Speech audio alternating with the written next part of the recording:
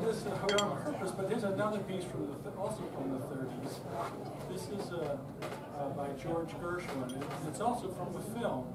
It was a, a Fred Astaire, Ginger Rogers film. Uh, it's about some, he's trying to meet the girl, and she's, she's like a rich girl, and they're on the ship, and they're walking the dogs, and he doesn't have a dog, sees the guard's got this great big animal, and he talks the guard into loaning him his dog, and pretty soon he's uh, going around the ship there so he can meet the girl too.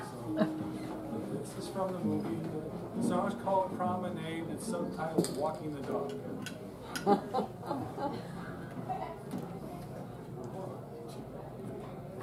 you.